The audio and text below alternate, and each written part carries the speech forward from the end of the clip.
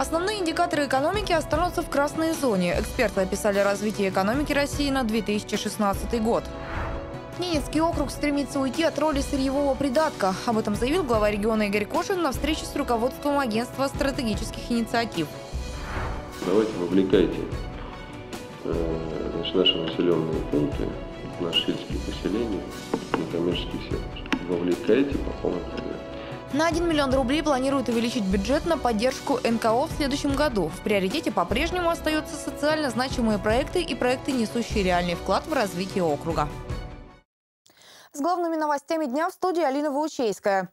Эксперты описали развитие экономики России на 2016 год. При среднегодовых ценах на нефть на уровне 40 долларов за баррель основные индикаторы экономики останутся в красной зоне.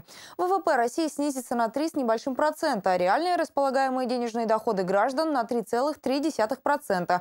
А инфляция будет довольно высокой, более 9%. К такому выводу пришли эксперты Института экономической политики имени Егора Гайдара, Российской академии народного хозяйства и государственной службы при президенте России и Всероссийской Российской академии внешней торговли. В пессимистичный вариант прогноза они заложили стоимость нефти 40 долларов за баррель. Ранее 40 долларов за баррель поместил в центр рискового сценария на 2016 год Центральный банк. Но при этом он не стал раскрывать, что конкретно ждет Россию при таких низких ценах на нефть. Базовый прогноз независимых экспертов, опубликованный сегодня, исходит из 55 долларов за баррель, что несколько выше, чем ожидаемый базовый прогноз Минэкономразвития, который ляжет в основу бюджета на следующий год – 50 долларов долларов за баррель. ВВП останется в минусе, но инфляция снизится в два раза до 7,7%. Теперь, когда установлена базовая цена на нефть, регионы, в том числе и наш округ, могут приступать к верстке главного финансового документа. Снижать зависимость Ненецкого округа от нефти пока не получится. На сегодняшний день 98% казны составляют поступления от нефтедобывающих предприятий. Но, тем не менее, эту задачу мы перед собой ставим, и мы будем э, стараться, э, допустим, эти риски снижать, каким-то образом развивать э, другое производство.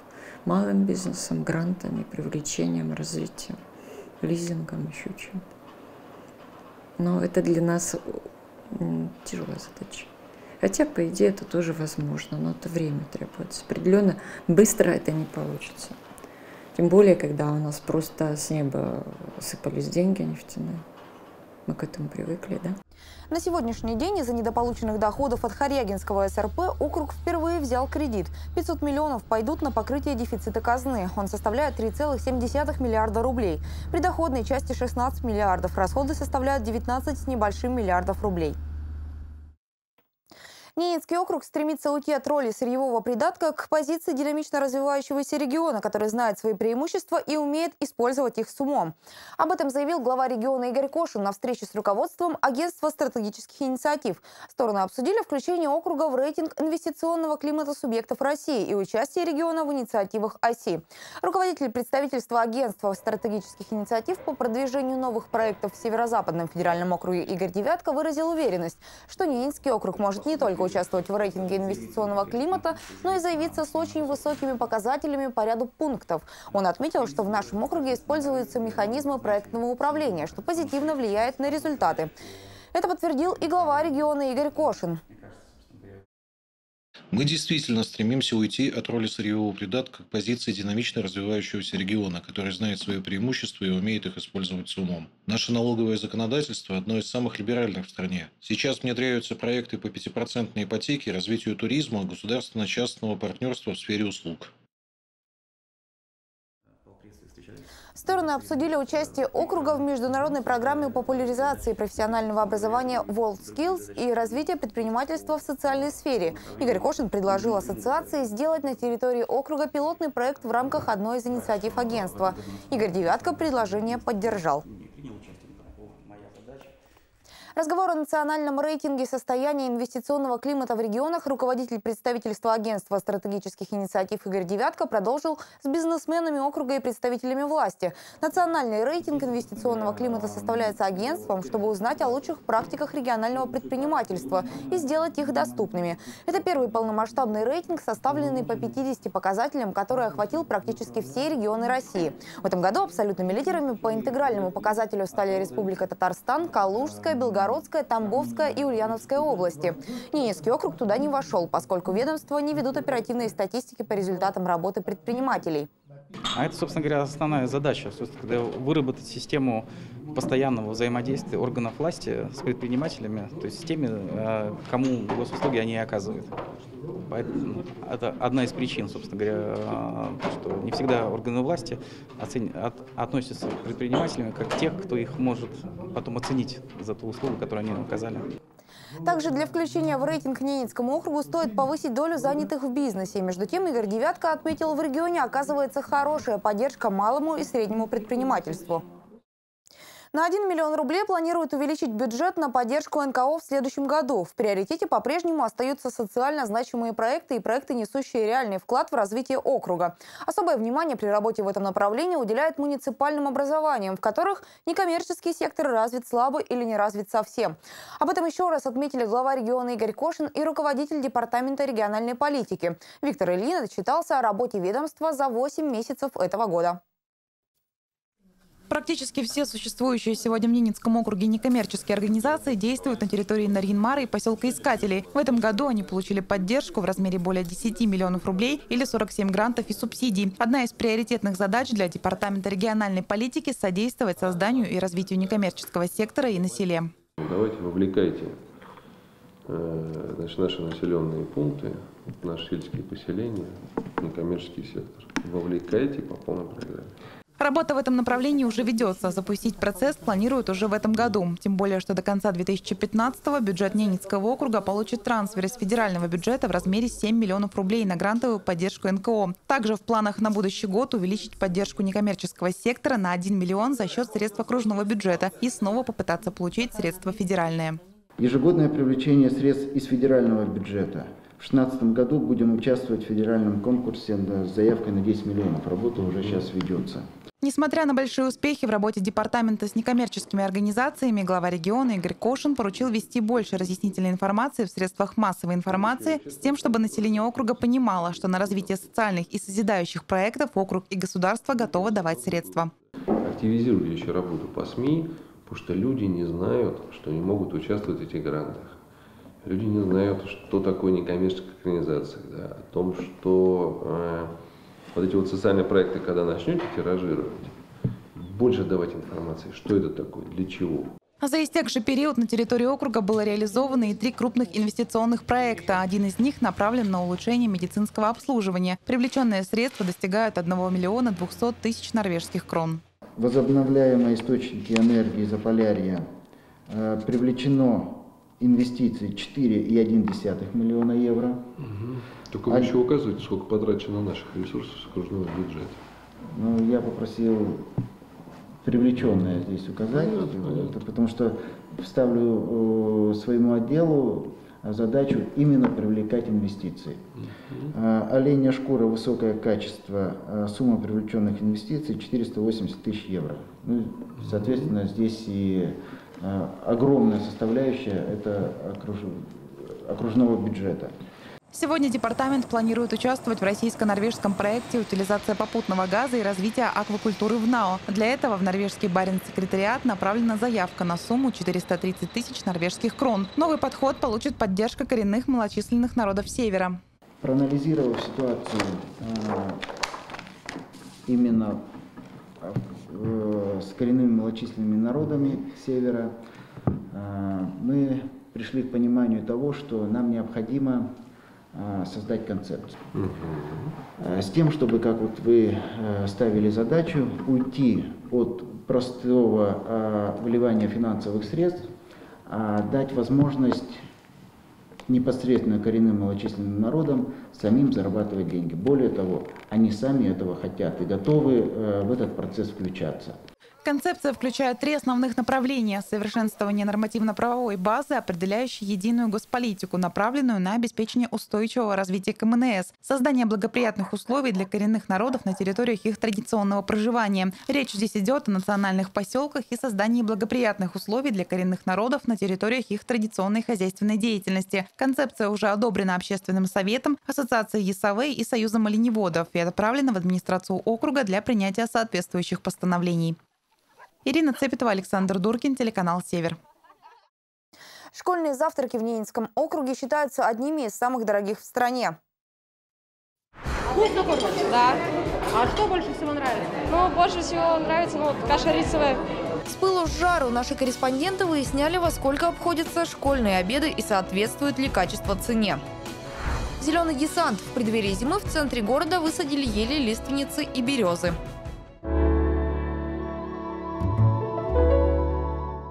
Осень, она не спросит. Осень вам даст пакет. Ну а пакет такой, что ты ей не скажешь нет. Лучшая осень на севере от Ненецкой телерадиовещательной компании. Два пакета самых выгодных рекламных предложений нового сезона. Заказ на минимальную сумму от 15 тысяч рублей. Для максимального проката рекламы на телеканале Север. Радио Нарьянмар ФМ. Размещение баннера на сайте телеканала с переходом на сайт рекламодателя. Для постоянных клиентов супер предложение. Подробности по телефону 2 17 17. Внимание! Если у вас есть записи на видеопленке, которые вы желаете хранить в цифровом формате, воспользуйтесь услугами профессионалов телеканала «Север». Ваши видеозаписи будут переписаны на современном оборудовании, на DVD и другие носители. Также возможна запись видеоматериалов с карт памяти, фотоаппаратов и видеокамер. Телеканал «Север» сохранит ваши воспоминания в качественном формате. Обращайтесь по адресу улица Ленина, дом 25А. Телефон 2 17 17.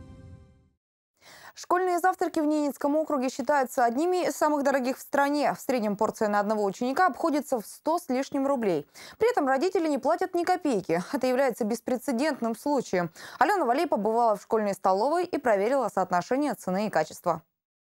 Вкусно кормят? Да. А что больше всего нравится? Ну, больше всего нравится ну, каша рисовая. А тут все по-разному дают. А сегодняшнее как? Ну так себе, вкусно немного. Мне не нравится. Почему? Ну, не знаю. Хоть, ну, как, у нас всегда одинаково. Ну, каждый, ну, например, по понедельникам всегда каша. Вот это не нравится. Ну, э, ну, всегда одинаково. В понедельник, в понедельник одинаково, вторник, ну, всегда одинаково. Сколько людей, столько и мнений, но на завтрак в школьную столовую все бегут с удовольствием. Во время перемены это, пожалуй, самое посещаемое место. За 20 минут в столовой школы номер один успевают поесть две смены детей. Сначала за столы садятся ученики младших классов, за ними следом идут старшеклассники. Через каждые 40 минут мы должны накормить а, большое количество детей. Поэтому девочки приходят, повара, два основных повара приходят у меня к 6 утра.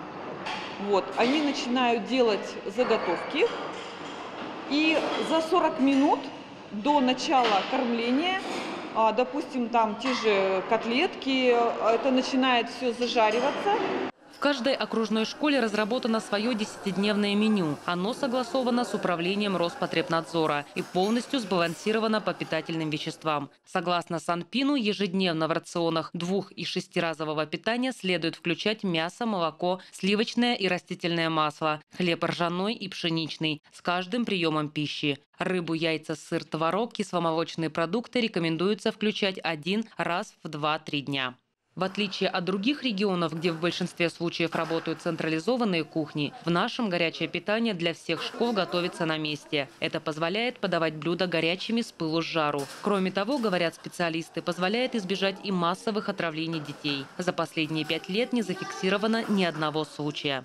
И мы видим в этом плюсы, потому что действительно питание в наших образовательных учреждениях организовано на пищеблоках тех образовательных учреждений, да, которые они обслуживают. Соответственно, они несут ответственность за то, что они делают. Да, они понимают больше, мне кажется, эту ответственность, потому что они здесь непосредственно уже идет приготовление пищи, да, и непосредственно уже реализация. По сравнению с другими регионами низок и уровень нарушений, связанных с детским питанием. Согласно результатам проверок, за год Роспотребнадзор в регионе составил 5 протоколов по нарушению санитарно-эпидемиологических требований. Общая сумма штрафов составила 100 тысяч рублей. Большинство связано с нехваткой продуктов и отличием планового меню от фактического. Не всегда удается доставить некоторые продукты питания в отдаленные населенные пункты региона. Например, кисломолочные, а также свежие фрукты и овощи.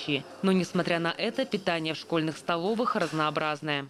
В среднем на одного ученика в день закладывается 107 рублей, но зачастую фактическая стоимость горячего питания отличается от запланированной. Так, самый дешевый завтрак в школе поселка Бугрино – всего 57 рублей. В Индикской школе питание стоит около 80, в Нижней Пеше – почти 83 рубля, в Снопе – 114, а самая дорогая ученическая порция в Омской школе – 122,5 рубля. Цена в основном зависит от способа доставки продуктов. И несмотря на большой разброс стоимости, по мнению портала Агровеб, горячее питание для ненецких школьников считается одним из самых дорогих по стране. Невысокая цена сохраняется в сельхозхозяйственных областях центральной полосы Поволжья и юга России. Удаленным регионам, расположенным на крайнем севере, в Сибири и Дальнем Востоке, сложнее минимизировать затраты на школьное питание при сохранении его качества и полноты рациона. Самое демократичное по стоимости школьное питание от 56 до 60 рублей в Курской, Белгородской, Липецкой и Воронежской областях.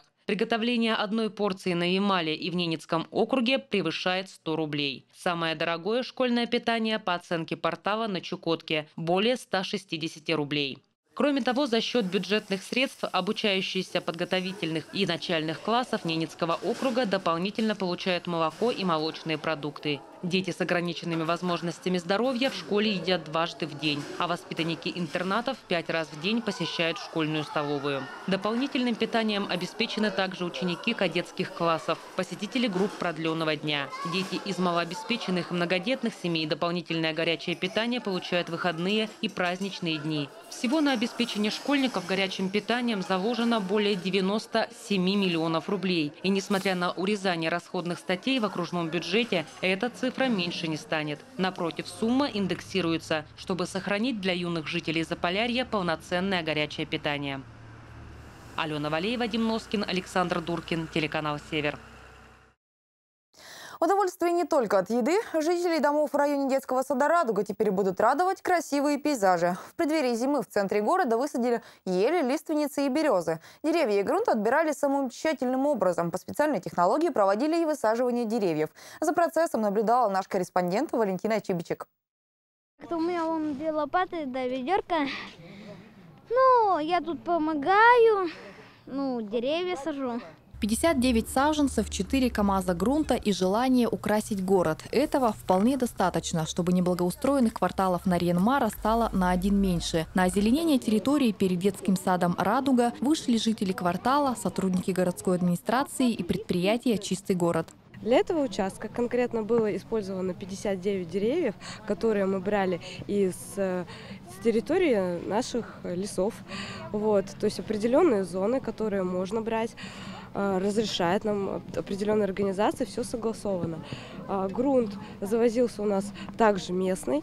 Чтобы деревья прижились, сажать их надо по науке, говорят специалисты по благоустройству. Во-первых, саженец выкапывают с корнем и сохраняют родной грунт. Во-вторых, садить куст необходимо на определенную глубину и с корневой лункой. Для защиты от ветра используются колышки. Пока деревце не укоренилось, они помогут ему принять вертикальное направление роста. Шансы, что деревья приживутся, довольно высоки. Все саженцы и грунт местные. Брали мы его с территории э, гидронамыва. Вот, то есть территория, которая будет намываться под строительство. То есть, в принципе, там он как бы не нужен, да?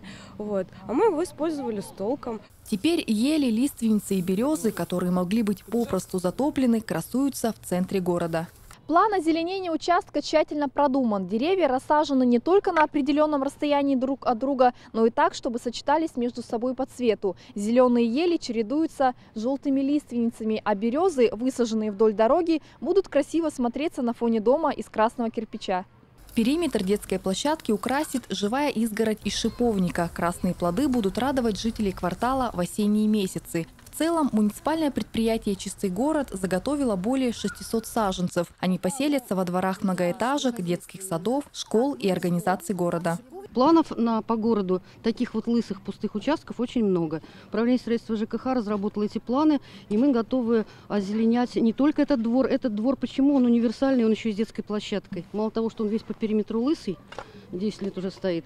А с другой стороны, здесь детская площадка, которую хотелось бы закрыть вот от дороги Поэтому зелень, она в городе необходима. Попробуйте мысленно убрать все зеленое, что есть в городе. Это будет какой-то горлем и каменный мешок. Сажать деревья в Заполярье можно до самых заморозков. Специалисты отмечают, при поздней посадке растения лучше переживут зиму и вовремя зацветут. Валентина Чибичек, Владислав Носкин, телеканал «Север». Это были новости от наших корреспондентов. Будьте в курсе последних событий. Напомню, телеканал «Север» вы можете смотреть в пакетах НТВ+, Триколор, а также в режиме онлайн на сайте trksевер.ру. Всего вам доброго, а далее прогноз погоды.